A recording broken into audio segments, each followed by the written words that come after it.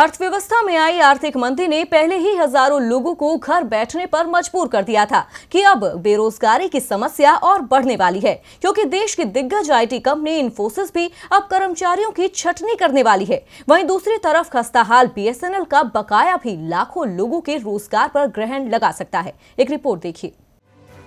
IT company Infosys पिछले काफ़ी वक्त से चर्चा में बनी हुई है।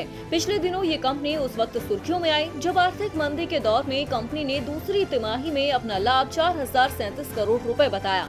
इन्फोसिस के इस नतीजे से सभी हैरान रह गए।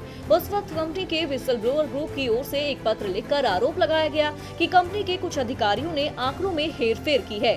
कंपनी को इतना मुनाफा हुआ नहीं, जितना दिखाया गया है। इस मामले को अभी ज़्यादा दिन बीते भी नहीं थे कि अब आईटी कंपनी फिर चर्चा में है।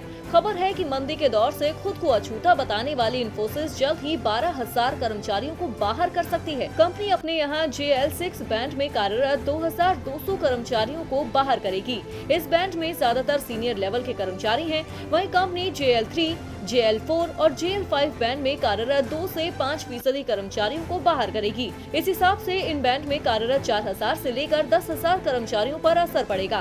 कंपनी इस तिमाही में कुल बारह हज़ार दो सौ कर्मचारियों को बाहर करने जा रही है। आपको बता दें कि हाल ही में विश्व की प्रमुख आईटी कंपनी कनिंगसेंट ने भी तेरह हज़ार कर्मचारियों को बाहर करने की घोषणा की थी।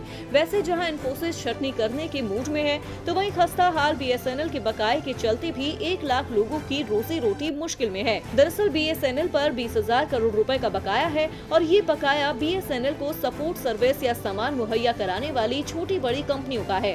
बीएसएनएल अपने दम पर इसे चुकाने की हालत में नहीं है और सरकार इस दिशा में उदासीन बनी हुई है। ऐसी सूरत में ये कंपनियाँ कामगार कम करने को मजबूर है, यानी साफ़ है की आने वाले दिनों में बेरोजगारी कई रिकॉर्ड बनाने वाली है। डीबी लाइफ की रिपोर्ट।